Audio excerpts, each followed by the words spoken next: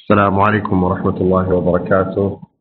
سعد الله صباحكم بكل خير وحياكم الله جميعا في اليوم الثاني من الأسبوع التهيئة لطلبة كلية العلوم الإدارية والمالية. آه، نيابة عن زملائي أرحب بكم وأتمنى أن يكون لقاءنا اليوم لقاء آه، مفيد آه، فيه إضافة لكم جميعا. يساعدكم بإذن الله في اختيار التخصص أو أو كذلك الاستعداد للعام الدراسي القادم. معي اليوم زملائي وكلاء الكلية ورؤساء الأقسام بالكلية. أحب فقط في البداية أن أشكركم جميعا على حضوركم. الكثير حضور البارح كان مميز جدا. ونتمنى أن يكون حضور اليوم كذلك مميز أكثر في البداية سيقوم زملائي بالحديث عن الأقسام. في نهاية الحديث عن الأقسام بإذن الله سنجيب على بعض الأسئلة أو الاستفسارات إذا وجد ذلك. بودي كذلك التأكيد على أهمية برنامج أسبوع التهيئة بعض الأسئلة وردت فيما يختص بلقاء البارحة. بإذن الله اللقاء مسجل وسيرسل للجميع لمن لم يستطع الحضور للاطلاع عليه والاستفادة منه بإذن الله. بداية نبدأ اليوم مع زميلي سعادة الدكتور إبراهيم الحسن رئيس قسم التجارة الإلكترونية. فليتفضل. السلام عليكم. أسعد الله صباحكم جميعا بالخيرات وأشكرك دكتور منصور على هذه المقدمة وحياكم الله جميعا. في البداية أعرف بنفسي معكم أخوكم إبراهيم الحسن رئيس قسم التجارة الإلكترونية. وأنا أتصور أن مجموعة من الطلبة الموجودين هنا اختاروا تخصص التجارة الإلكترونية لدراستهم خلال الفترة القادمة بإذن الله. في البداية فقط أريد أن يعني أنبه على عدد أو أضيف كم عدد الأقسام الموجودة في الكلية وهي منشورة بشكل واضح للجميع. القسم الأول إدارة الأعمال والدكتور فيصل الهدار راح يتكلم عنه. ثم قسم المحاسبة والدكتور خالد الفهد وقسم المالية الدكتور منصور البراك وأخيرا قسم التجارة الإلكترونية. كل الأقسام تتفق في آلية أو ستركتشر للخطة الدراسية من ناحية أربع نقاط رئيسية وهي متطلبات الجامعة. وأعتقد الجزء جزء منكم درسها في السنة الأولى المشتركة والجزء الآخر والجزء الآخر من المتطلبات ستكون ضمن الخطة القادمة. وهناك متطلبات للكلية تتفق عليها الأقسام كلها ثم متطلبات القسم. وهي تخصصية أكثر كمتطلبات للقسم وفي النهاية في متطلبات للتركيز. لكل قسم له أربع تراكيز يختار منها الطالب. فمثال عليها إدارة الأعمال تخصص إدارة الأعمال في تركيز التجارة الإلكترونية. وكذلك قسم التجارة الإلكترونية في تركيز آخر. وهكذا. الطالب مهم أن يختار التركيز المناسب له. وأعتقد أنه سيشرح شرح لكم سابقا وسيشرح لاحقا في آلية اختيار التركيز وتفاصيله. هذه مقدمة عن أقسام الكلية بما يتعلق بتخصص التجارة الإلكترونية من الجيد قبل الدخول فيه واخذ تركيز التجارة الإلكترونية معرفة ماهية التخصص وما هو مستقبله. في البداية إذا لم يكن لك اهتمام في مجال التجارة الإلكترونية والأعمال في في التحول الرقمي يحتاج أن تقرأ فيه أكثر حتى تتخذ القرار المناسب أن فعلا التجارة الإلكترونية هو التخصص المناسب لي. إيش يؤهلك له في سوق العمل؟ يؤهلك إلى إدارة المتاجر الإلكترونية. يتطلب وجودك في تخصص التجارة الإلكترونية وكذلك أي تخصص إلى أمرين مهمة، التفاعل الفعال مع هيئه التدريس ومقرراتك بانتهاء إنهاء الواجبات بالتفاعل داخل القاعة وكذلك آه، قراءاتك الخارجية واهتماماتك في مجال تخصصك وخصوصا في مجال التجارة الإلكترونية. آه، أخيرا آه، أود أن أختم بنقطة مهمة جدا. خلال الفترة القادمة ستكون جميع الدراسة عن بعد من خلال منصة التعليم الإلكتروني. هذا لا يعني تنازل عن جودة التعليم. هذا لا يعني أنها ستكون الدراسة أسهل أو أصعب. الدراسة كما هي لن تتغير من ناحية المتطلبات لن تتغير من ناحية الاختبارات لن تتغير من ناحية آه، تفاعل مع آه، عضو هيئة التدريس. المنصة الإلكترونية التي نعمل فيها في الجامعة وكذلك في القسم والكلية آه، يعني متقنة فيها جميع المواد التفاعلية فيها جميع المواد التي يحتاجها الطالب وكذلك تستطيع التواصل من خلالها آه، مع عضو هيئة التدريس في الساعات المكتبية وكذلك تجد وسائل التواصل واضحة جدا مع عضو هيئة التدريس. فهذا لا بد أن يوضع, يوضع في الحسبان.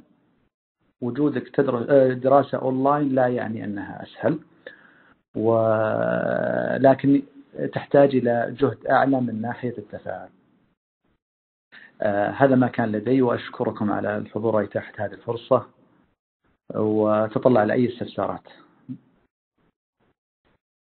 أشكركم جميعا. والآن أعتقد سيكون معنا الدكتور فيصل في قسم التجارة الإلكترونية في قسم إدارة الأعمال.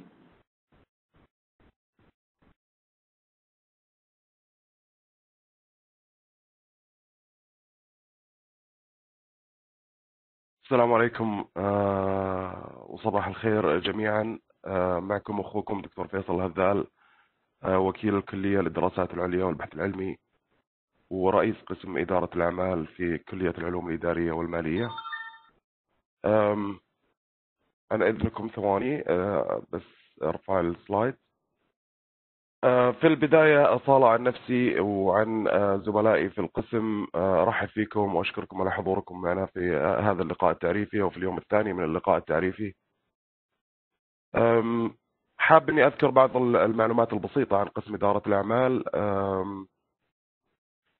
اللي يعد من أكبر الأقسام العلمية في الكلية وإذا ما هو في الجامعة أيضا و وأترك المعلومات الإضافية عنه آه، في زيارة آه، آه، موقع الكلية وموقع القسم يكون في تفاصيل أكثر ومعلومات أكثر. وأتمنى الجميع خاصة المتخصصين في إدارة الأعمال في زيارة الموقع ومعرفة الخطط الدراسية وتفاصيل الخطط الدراسية لأنه لا مجال لذكرها في لقاء تعريفي مثل هذا. آه، يضم قسم آه، إدارة الأعمال 38 آه، عضو هيئة تدريس على رأس العمل حاليا. ما بين أستاذ مشارك وأستاذ مساعد ومحاضرين. كذلك بالإضافة إلى ذلك يضم أيضا بعض المتعاونين حسب حاجة القسم من اللي عندهم خبرة في تدريس إدارة الأعمال. ومناهج ومقررات إدارة الأعمال. يقدم القسم برنامجين آه، برنامج البكالوريوس في الإدارة وأيضا ماجستير في إدارة الأعمال MBA آه، البكالوريوس إدارة آه، يقدم في ست فروع للجامعة للطلاب والطالبات على حد سواء في الرياض والدمام وجدة والأحساء والمدينة المنورة وجازان. أما ماجستير إدارة الأعمال فيقدم للطلاب والطالبات في الرياض والدمام وجدة فقط. البريد الإلكتروني لقسم إدارة الأعمال آه، كما هو ظاهر لكم على الشاشة وأنا حبيت فقط أني أعطيكم هذا البريد لكن إن شاء الله في الساعة القادمة راح تتكلم معنا الزميلة آه، الدكتورة ميسون آه، عن وسائل التواصل الأمثل للتواصل مع الأقسام وأعضاء هيئة التدريس. على مختلف المواضيع وأيضا مع الأقسام الأخرى والإدارات الأخرى اللي موجودة في الكلية. هذا تعريف بسيط عن قسم إدارة الأعمال. ما أحب أطيل عليكم لأنه المعلومات اللي ممكن اللي أشجعكم يعني أنه تعرفوها عن القسم وعن أهدافه وتفاصيل الخطط موجودة على صفحة القسم على موقع الكلية أو على موقع الجامعة. وأتمنى من الجميع صراحة أنه يطلع عليها خاصة قبل بداية الدراسة لمعرفة الفرق بين التخصصات ومعرفة الأقسام ومعرفة الخطة الدراسية حتى يبني خطة لدراسته خلال السنوات القادمة. آه، في الأخير ونيابة مرة أخرى عن زملائي آه، أشكر لكم حضوركم وأتمنى لكم آه، سنة أكاديمية موفقة بإذن الله. وإحنا دائما موجودين لخدمتكم. وأرجو أنه ما ترددوا في التواصل معنا عن على طريق وسائل التواصل اللي موجودة على موقع الجامعة أو معنا مباشرة. وفي الختام طبعا أقول لكم بالتوفيق إن شاء الله. وشكرا لكم على الحضور مرة أخرى. ومعنا الآن آه، زميلنا آه، بيتحدث آه، معكم عن قسم المحاسبة. معنا الدكتور خالد الفهد. بسم الله الرحمن الرحيم. الحمد لله رب العالمين والصلاة والسلام على أشرف الأنبياء والمرسلين.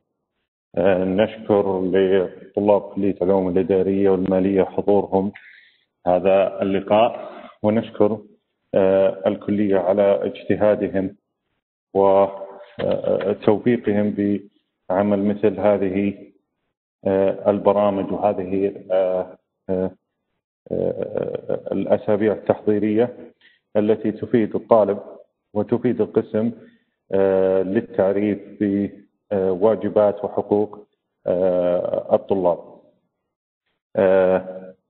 مرحبا بكم آه، آه، مرة أخرى. وكما تعلمون أن المحاسبة تعرف بأنها آه، لغة الأعمال فهي الطريقة التي يتم تواصل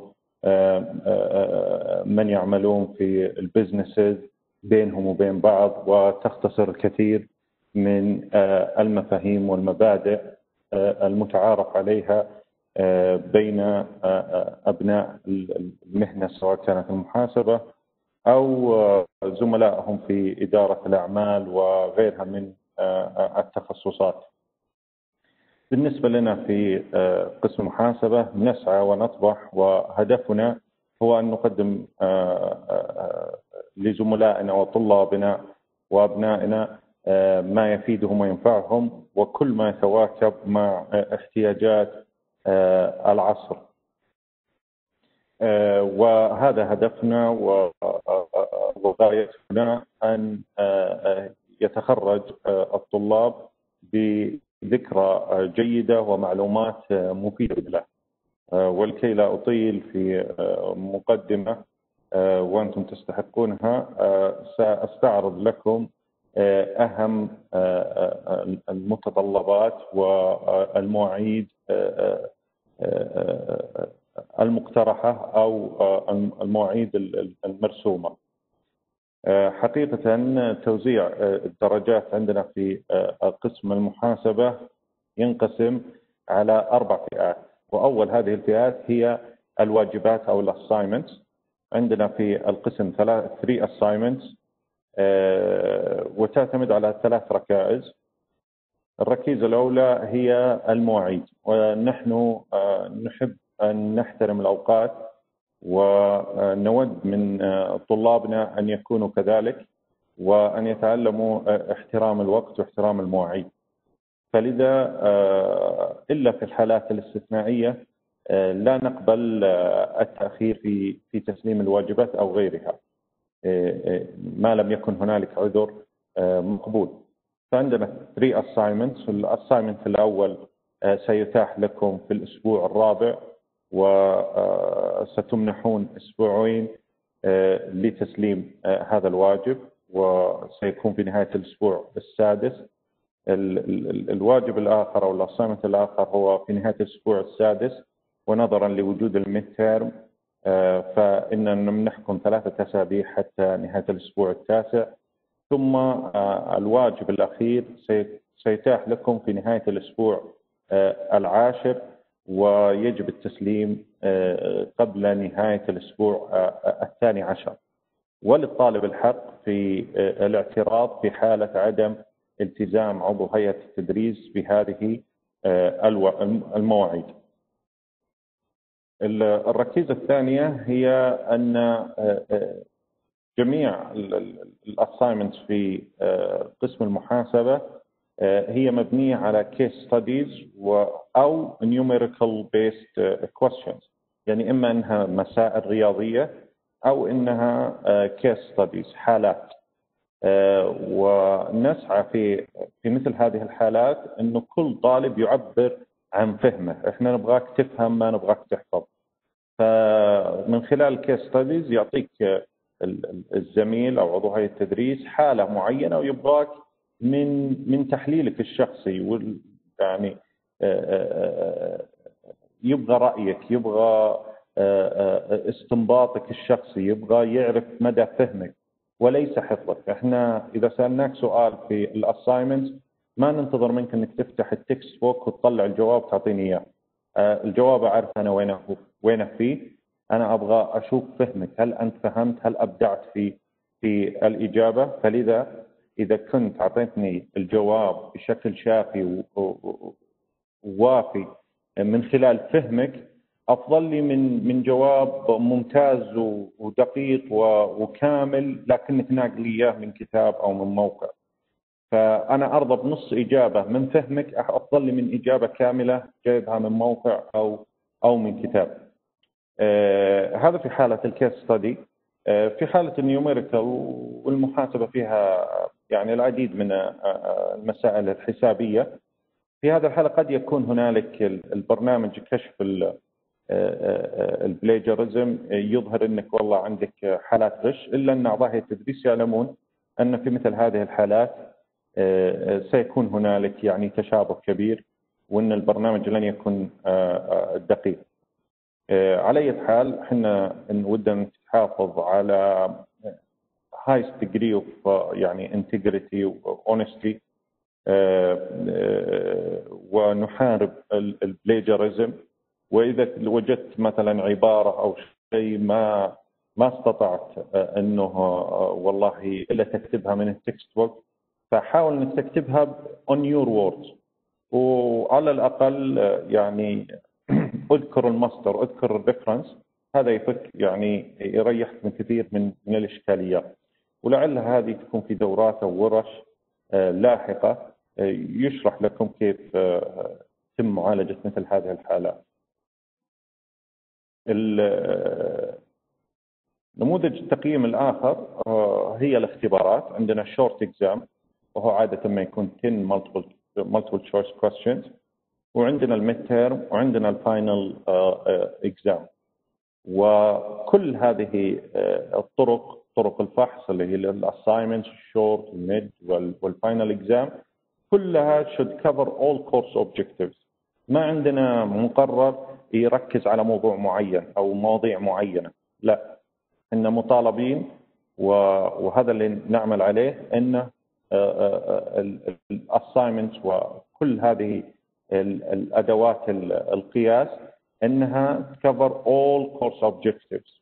فما عندنا موضوع محذوف ما عندنا موضوع ما ركزنا عليه. كل كل كل ما أخذناه سنختبر عنه. فبالتالي آه، يعني بعض الطلاب قد يضيع وقته بالسؤال ما هو المواضيع المحذوفة وش الموضوع اللي ما هو مهم؟ ما في شيء اسمه ما هو مهم. آه، ونصيحتي لاحبائنا واعزتنا الطلاب إنه يدخل على موقع الكلية ويشوف برنامج المحاسبة ويشوف ال course objectives لكل course هو هيدرسه الفصل هذا. وبناء عليه يعرف الموضوع أو ال course هذا وش قاعد يتكلم عنه. وهذه بتريحه بشكل آه، كبير جدا. بالنسبة لتوزيع الأسئلة في آه، الاختبارات آه، قد ما تكون يعني واضحة بشكل كبير في ظل الظروف الحالية إلا أنها يعني الاختبارات ال mid وال final exam بتركز على المالتيبل تشويس كويشنز وترو اند فولس والاسي كويستشنز فالفاينل يعني على سبيل المثال آه، وهو قابل يعني قد يكون قابل للتغيير في ظل الظروف الحالية. بيكون عندنا 25 multiple choice questions 15 true and false و two short exams for 5 marks each. وعلى أي حال سيتم تزويدكم إن شاء الله خلال الفصل الدراسي بطريقة توزيع الأسئلة وذلك بوقت كافي.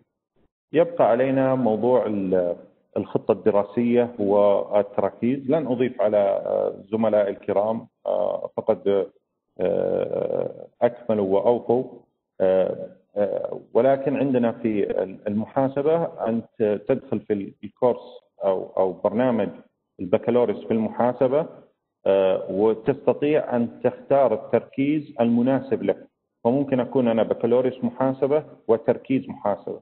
ممكن أكون بكالوريوس محاسبة تركيز مالية أو تركيز تجارة إلكترونية أو تركيز إدارة أعمال. وكل وحسب ما يرى. وتجدون في موقع الجامعة إذا اخترت برنامج بكالوريوس في المحاسبة سيظهر لك الخطة الدراسية ومن خلال الخطه الدراسيه ستجد التراكيز والتراكيز هذه عبارة عن ثلاث مقررات فإذا اخترت مثلا التركيز في المالية على سبيل المثال فأنت تدخل في هذا التركيز وتكمل المقررين الآخرين وبالتالي تكون استوفيت المتطلبات للحصول على شهادة بكالوريوس في المحاسبة. بعض الأخطاء الذي يقع فيها بعض الطلبة إنه يأخذ في تركيز المالية ثم يأخذ في في تركيز إدارة الأعمال لعلها الآن ما يسمح النظام إلا إنه يجب الحذر من ذلك والعمل على عدم الدخول في تركيز وتركيز آخر في نفس الوقت. ويجب الإشارة إلى أن تركيز المالية على سبيل المثال لطلاب المحاسبة يختلف عن تركيز المالية لطلاب المالية.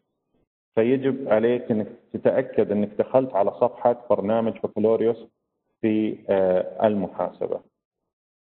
هذا ما عندي اليوم وان شاء الله بيزودوكم الزملاء بالايميل الخاص بالقسم وحنا على استعداد وترحيب باستقبال أي استفسارات تردنا من طرفكم من جهتكم كذلك عندنا اجتماع أسبوعي من خلال ال Blackboard ممكن مع مع رئيس القسم وكذلك الزملاء رؤساء الأقسام لطرح أي مواضيع تواجهكم لتحقيق هدفكم ومبتغاكم من خلال التحاقكم في الجامعة السعودية الإلكترونية. حياكم الله و لعل دور الدكتور منصور الآن رئيس قسم الإدارة المالية. السلام عليكم ورحمة الله وبركاته حياكم الله جميعا مره أخرى. أقدم الشكر لجميع الزملاء على ما قدموا في اليوم التعريفي ودي أشارككم بعض المعلومات فيما يتعلق في قسم المالية بداية نيابة عن زملائي ضاحية التدريس في قسم المالية أرحب بكم جميعا نتمنى لكم عام أكاديمي مميز مليء بالنجاحات بإذن. قسم المالية يقدم برنامج بكالوريوس العلوم العلوم في إدارة الأعمال في تخصص المالية. القسم كذلك يقدم بعض المقررات لبرامج أخرى مثل برنامج ماجستير إدارة الأعمال وكذلك بعض المقررات المطلوبة في متطلبات الكلية للبرامج الأخرى. برنامج المالية يعتبر من آخر البرامج اللي فتحت في الكلية. بدأ القبول في البرنامج في الفرع الرئيسي في الرياض فقط للطلاب. ولحقه افتتاحه في بعض الفروع الأخرى السنة الحالية البرنامج متوفر في الرياض والدمام للطلاب الطالبات ونتطلع إن شاء الله إلى افتتاح البرنامج في فرع جدة في العام القادم بإذن الله. الوظائف المتوقعة للخريجين من البرنامج المدير المالي الباحث المالي المستشار المالي وكذلك المحلل المالي والوسيط المالي. الخطة الدراسية للبرنامج فيما يتعلق بمتطلبات الجامعة لا تختلف عن البرامج الأخرى ولا تختلف كذلك في متطلبات الكلية. الاختلاف هو في متطلبات القسم وفي التركيز كذلك. هذه هي المتطلبات المتعلقة بالقسم توجد لدينا عشرة مقررات شاملة مقرر التدريب. المقررات تغطي جميع المقررات المطلوبة أو المماثلة في أي برنامج للمالية. بالإضافة إلى ثلاث مقررات للمتخصصين في البرنامج. تطرح كذلك لجميع الطلاب. فالتركيز مختلف. إذا كان الطالب متخصص في المالية فهي ثلاث مقررات مختلفة عن تركيز المالية للخريجين الآخرين. في النهاية أحب أني أشكركم جميعا. أحب فقط أن أختم بتوضيح نقطة وهي فيما يتعلق بالواجبات والتكليفات المطلوبة من قبل الأقسام. لكل قسم سياسة مختلفة عن عن القسم الآخر فيما يتعلق بعدد الواجبات عدد عدد على سبيل المثال الاختبارات القصيرة بعض المقررات تتطلب وجود أنواع مختلفة من من التقييم. بعض المقررات في الأغلب تكون متشابهة فيما يتعلق بالتقييم. كذلك أحب أن أوضح أن جميع المقررات رمز المقرر يرمز في الأغلب للقسم المسؤول عن المقرر. على سبيل المثال رمز MGT يعود إلى قسم إدارة الأعمال. رمز ECOM يعود إلى قسم التجارة الالكترونيه ال E-commerce Department وكذلك مقرر MS يعود إلى إلى قسم التجارة. المحاسبة جميع المقررات التي تبتدئ ب ACCT مختصر لل accounting تعود إلى قسم المحاسبة. في قسم المالية القسم مسؤول عن مقررات المالية والاقتصاد. فتشمل الرمز FIN وكذلك إي سي أو إن. فجميع هذه المقررات تعود إلى قسم المالية. الأقسام تتمايز وتختلف كما ذكرت سابقا في سياسة التقييم للطلاب.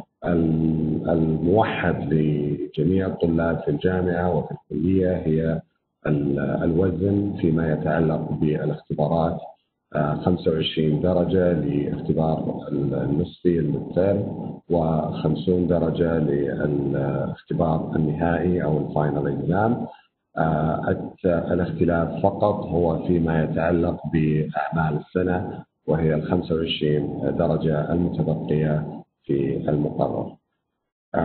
ختاما أشكركم جميعا على حضوركم وسعيدين فيكم ونتطلع إن شاء الله إلى لقائكم في لقاءات أخرى أعتقد سعادة الدكتورة ميسون خوجة الآن تواصل تواصل السيشن اليوم فيما يتعلق بطريقة التواصل الأمثل مع الكلية. شاكر ومقدر لكم جميعا. تحياتي.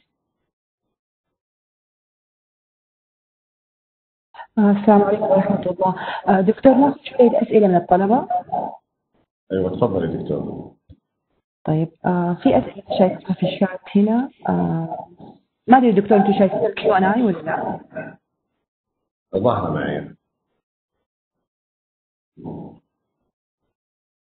طيب آم هناك فرصة لكم إذا حابين تسأل أسئلة لرؤساء الأقسام في هنا كان طالب كاتب وما هو الفرق بين قسم المالية والمحاسبة؟ أعتقد لنبسط الإجابة المحاسبة تنظر backward بمعنى إنه ماذا حدث سابقا وتحاول المحاسبة دائما توثيق جميع العمليات المحاسبية والمالية في داخل أي شركة أو عمل. المالية ينظر في الأغلب إلى المستقبل. فينظر إلى تحليل هذه البيانات واستفادة منها في اتخاذ قرارات مستقبلية هذا بشكل عام آه، بعض أرى سؤال إنه هل في أمل يكون في تخصص مالية للبنات فرع الرياض؟ آه، موجود تخصص الماليه للبنات في فرع الرياض.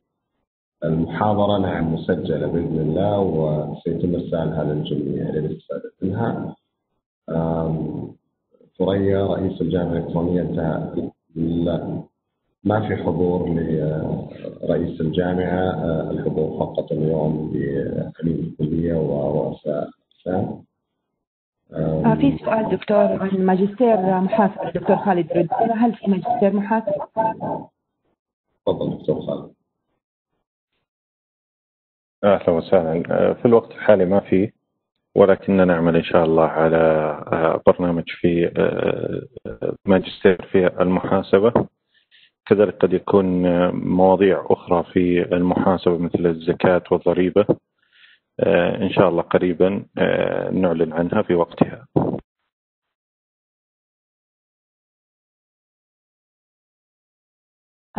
دكتور في كان سؤال بس دكتور منصور أو دكتور خالد حابين تردوا. هل أقدر اخذ تركيز خارج التخصص رغم انه ما يذكر في وثيقة التخرج؟ وده أقل من حماسنا للموضوع. حقيقة مثل ما وضحنا أنه ممكن يكون فيما يخص قسم المحاسبة ممكن يكون التركيز في إدارة الأعمال أو التجارة الإلكترونية أو المالية أو في المحاسبة. على حال يهمنا أن يكون زميلنا الطالب حريص على الفائدة أكثر من أنه وش مكتوب بالشهادة. وهذا اللي بيراعيه صاحب العمل أو أي شخص يتعامل معك. هل عندك المعلومة أو لا؟ بغض النظر عن الشهادة وما هو مكتوب بها. فلذا يعني أحفز الطلاب الكرام بأن يعني ما يكون تركيزهم على ما هو مكتوب بالشهادة. بقدر الفائدة والميول والأهداف الشخصية التي يطمح لها الطالب. دكتور منصور في سؤال. هل ممكن أختار وقت المحاضرات في المساء؟ جميع المحاضرات في في في الكلية وأعتقد في الجامعة هي مسائية. تبدأ من الساعة الرابعة إلى الساعة العاشرة مساء. كان في سؤال سابق بما يتعلق بالتح... إنه لم لم يتم قبولي في قسم المالية. ممكن بعد انهاء الفصل الأول فتح التحويل التحويل للقسم إذا كان لديك الرغبه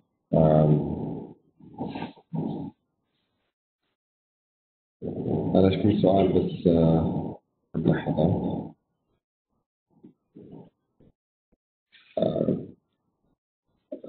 نعم في توجه. نحن نعمل الآن مع مع CFA Institute لاعتماد مقررات برنامج المالية. وصلنا إلى خطوات جيدة وبإذن الله يعلن قريبا. أعتقد هذه الأسئلة المتعلقة في المال.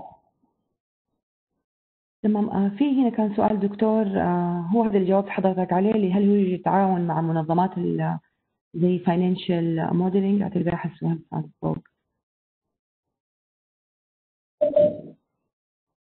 آه أيوه أجبت على هذا السؤال. فيما يتعلق ب نحن نعمل الآن مع CFA Institute على إن شاء الله اعتماد المقررات الخاصه بالبرامج في سؤال دكتور عن مادة التركيز. يقول لك هل أقدر آخذ مادة تركيز واحدة في الفصل؟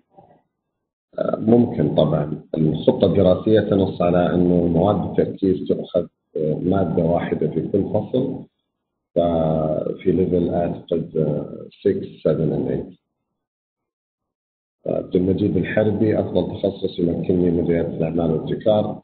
أعتقد جميع التخصصات ممكن تمكنك من ريادة الأعمال والابتكار. ونعمل حاليا على خطة جديدة للكلية يكون فيها آه، بإذن الله آه، مسار خاص بريادة الأعمال. في سؤال هل أقدر أقدم ثاني مرة ثانية على تخصص مالية وانقبل؟ ما يحتاج زي ما ذكرت سابقا بعد انهاء الفصل الأول يفتح بوابه التحويل بين الأقسام بإمكانك التقديم على التحويل إذا كان التخصص موجود في الفرع اللي لك الرغبه في الدراسة. آه، تركيزين في تخصص واحد لا أعتقد لا يمكن تركيزين في تخصص واحد بالإمكان الحصول على تركيز واحد فقط. ماريا عندنا مادة الساعة 1 AM أعتقد إنها آه، جدولتها خطأ آه، ستعدل إن شاء الله.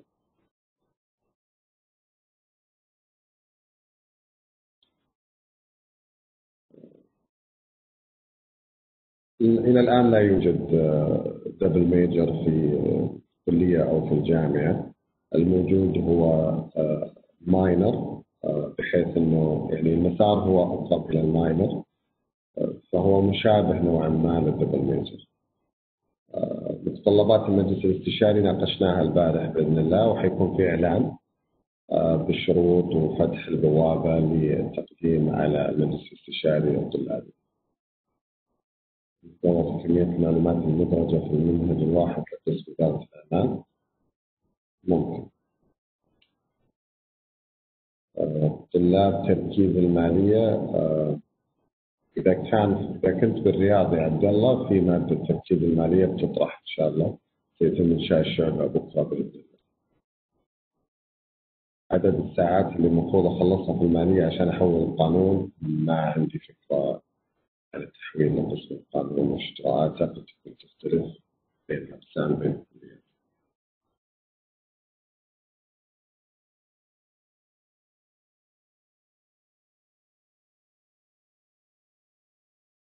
طالب الخريج إلى 21 ساعة مقبول آه، التسجيل للطالب الخريج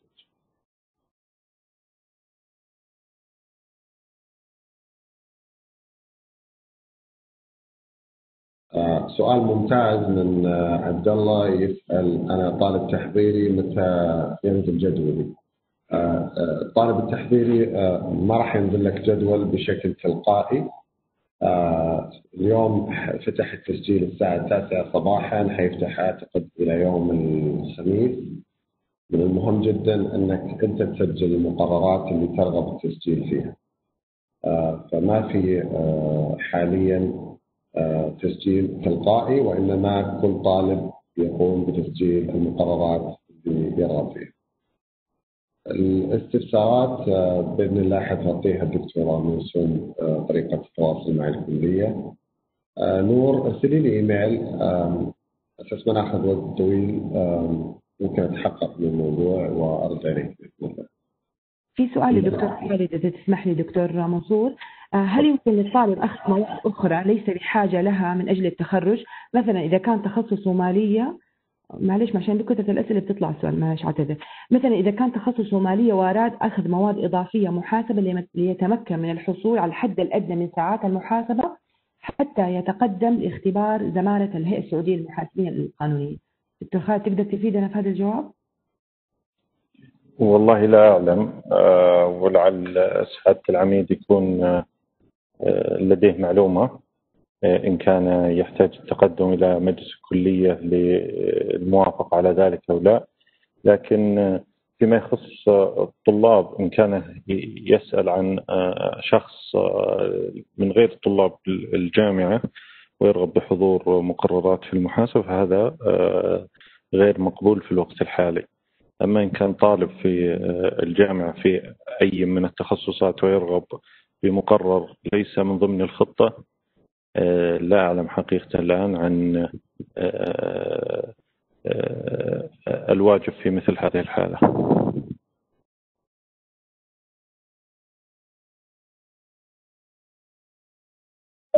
بالنسبة للسؤال المتعلق في المعادلة المعادلة موجودة على الموقع. المقررات اللي يتم معادلتها هي فقط سنة تحضيرية ومواد الثقافة الإسلامية آه، إذا كان طالب في المالية ويرغب في دراسة مقررات إضافية فيما يتعلق بالمحاسبة آه، ممكن يتقدم بطلب للكلية ويعرض على مجلس الكلية وينظر فيه. أعتقد الدكتور خالد أجاب على إمكانية توفير ماجستير محاسبة في الجامعة. الإعادة للمحاضرات البارح واليوم بإذن الله بيتم إرسالها بالإيميل آه، كروابط للي ما أستطاع انه يحضر بإذن الله. آه، لابد تتأكد يا عبد الله آه، انه اضاف السنة التحضيرية أضافوك إنك تشترك بالسنه التحضيرية. النظام مفتوح الآن بإمكانك التسجيل. في سؤال عن هل بيفتح تخصص رياده اعمال حيفتح. نعمل الآن على خطة جديدة بإذن الله قد يكون فيها مسار ريادة